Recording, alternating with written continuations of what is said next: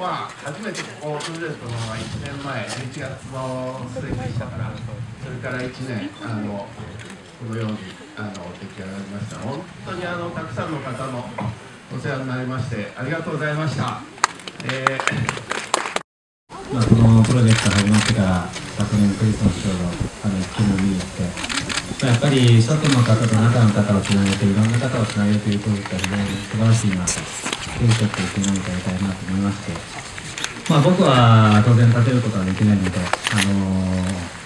人と人をつなげながらやっぱりそれを分からなくなっていくとかっていうことをできたらいいなと、やはりそれを少しずつ形にした中で、まあ、今回この素晴らしい建築ができまたここに集う人たちがこうやってきたものの一部になれたら非常に良かったなと思います。